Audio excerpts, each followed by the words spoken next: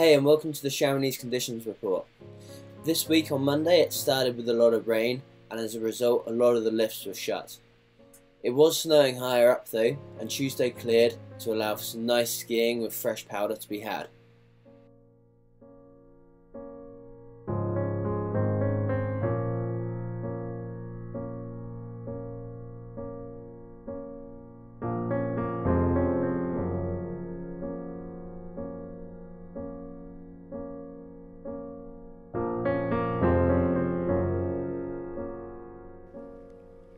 Wednesday, another weather front came in, providing plenty more snow. The resort felt very quiet this day, and although visibility was bad, the snow was great.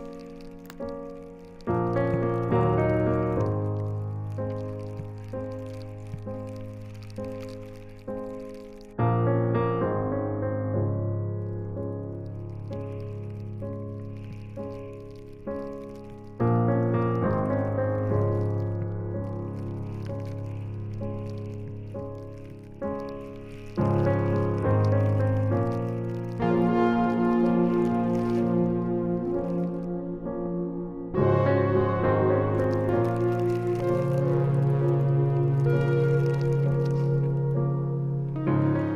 certain aspects, we had witnessed a few storm slabs break away.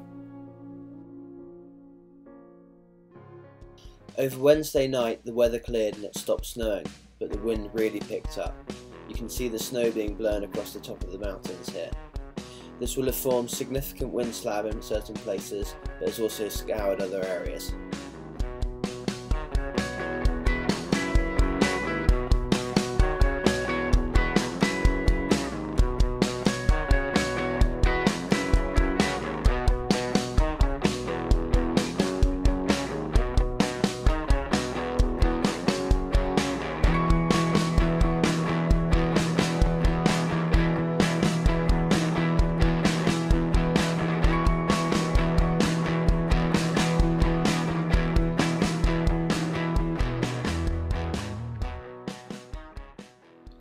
Over Thursday night, the wind speed must have dropped off, and most of Chamonix Ski Resort was open, with the exception of a few high ski lifts.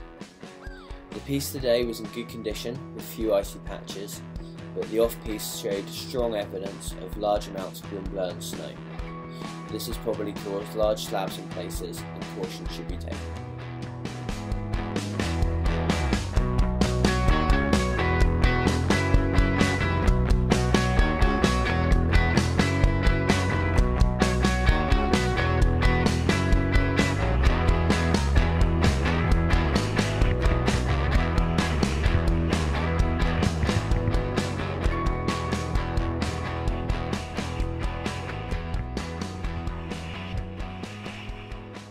This conditions report was brought to you by YourLinesOnline.com. Get your own ski video here.